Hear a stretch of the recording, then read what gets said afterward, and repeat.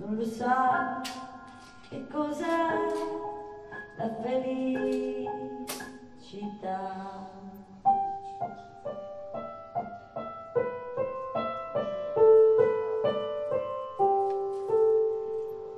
Lord.